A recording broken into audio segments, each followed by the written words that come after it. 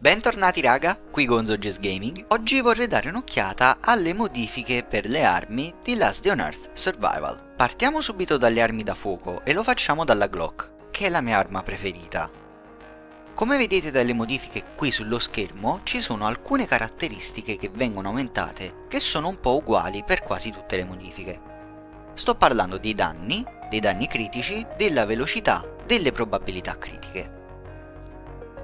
Questi sono secondo me i più che dovresti cercare sulle modifiche che stai provando a farmare alla centrale di polizia, magari tramite le ondate, utilizzando gli esplosivi. E se ci avete fatto caso, tra queste statistiche secondo me la meno importante è quella di distanza. Certo, è vero, gli zombie ci metteranno un poco più di tempo a raggiungerci, potremo appunto allontanarci di più e diminuire le probabilità con cui ci beccano, però a differenza delle altre secondo me non è poi così determinante. Ovviamente se ancora non hai tutte queste modifiche pronte da assemblare, qualsiasi altra modifica comune o meno che aumenta queste statistiche, e attenzione sottolineo aumenta e non diminuisce, se non è troppo costosa da fare secondo me ti ci puoi buttare tranquillamente. Tieni bene a mente questo passaggio perché varrà per tutte le armi. Ma passiamo al fucile a pompa. Questa è la mia seconda arma preferita perché come la Glock non sbaglia mai un colpo e quindi la statistica di stabilità non ci interesserà assolutissimamente. Il discorso è praticamente uguale a quello della Glock, però vorrei focalizzarmi su una skill in particolare, o meglio su una statistica, e cioè sulla velocità. Molto banalmente infatti il fucile a pompa è l'arma per antonomasia più lenta del gioco, seconda forse solo all'arpione. A differenza di quest'ultimo però appunto possiamo assemblarle le modifiche e raga non vorrei esagerare però praticamente inizierà a sparare quasi come una pistola e il nostro DPS volerà alle stelle e durante le boss fight ci aiuterà di brutto. Ora vorrei passare ai fucili automatici e in particolare Uzi M16 AK-47 e SCAR.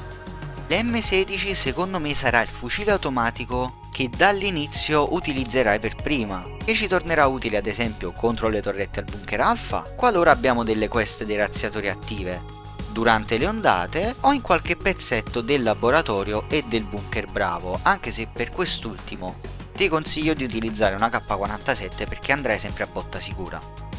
Come puoi vedere ti propongo tutte modifiche che non toccano la stabilità ma che anzi la aumentano. Questo perché l'M16 insieme a tutti gli altri fucili dopo un po' inizierà a mancare il bersaglio soprattutto se le scariche di colpi che facciamo sono molto lunghe. Infatti, se passiamo all'Uzi, puoi notare come succede più o meno la stessa cosa. Qualsiasi mod che aumenta la stabilità va bene, a me piace tantissimo la canna lunga perché è anche una modifica comune e non dovresti avere problemi a trovarla abbastanza spesso. La statistica che invece meno ci interessa qui è la robustezza. Anche qui la stessa cosa vale per tutte le altre armi. In questo caso l'impugnatura economica non farà altro che togliere solo un paio di colpi dalla vita di questa pistola automatica. La K47 è il fucile più forte del gioco, secondo solo allo SCAR, Tuttavia se giocate già da un po' avete notato come gli AK-47 sono molto meno rari del suo fratello più potente. Ormai dovreste capire come funziona, stiamo cercando mod a stabilità, in modo che il nostro fucile smetterà di mancare il bersaglio. Il tuo obiettivo dovrebbe essere il freno di bocca modificato, questa mod è il perfetto esempio del discorso che abbiamo fatto fino ad ora. Otterremo più danni, più stabilità, tuttavia meno robustezza e più rumore, cosa che non ci interessa perché non utilizzeremo questo fucile durante i raid. E se ci spostiamo allo SCAR, fondamentalmente succede la stessa cosa. Stiamo cercando probabilità critiche, stiamo cercando stabilità, stiamo cercando danni e quant'altro. Vorrei ricordarti prima di finire però che questi sono solo degli esempi di alcune delle build che puoi fare grazie alle tue modifiche per armi da fuoco. E in particolare aumentano la stabilità perché sono ancora meglio pensate per essere utilizzati per il bunker bravo. Qui avremo bisogno di fare il massimo dei danni nel minor tempo possibile, per cui la stabilità è massimizzata. Di conseguenza se tu vuoi impiegare anche le armi in altre aree in cui non devi andare di fretta, dove puoi aspettare che magari il tuo fucile automatico si raffreddi per ricominciare a sparare, allora ti ricordo che puoi sperimentare al meglio, sempre tenendo presente le cose che abbiamo detto qui. Ad esempio, potresti voler moddare il tuo M16 dandogli il massimo delle probabilità critiche e dei danni critici a discapito ad esempio della precisione.